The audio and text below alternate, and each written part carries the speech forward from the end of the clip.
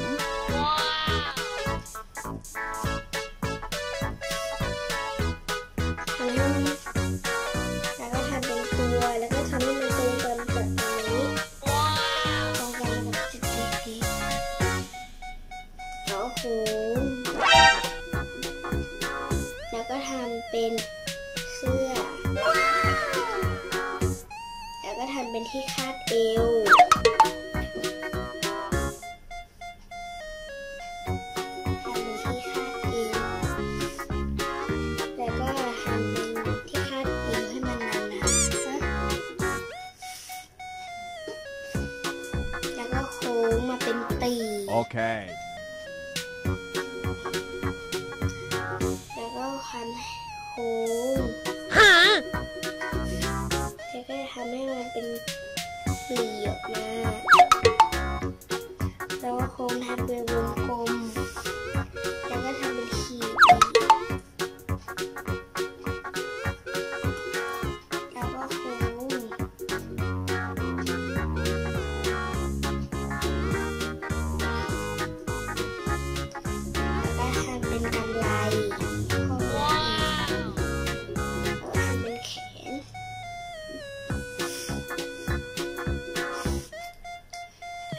红太平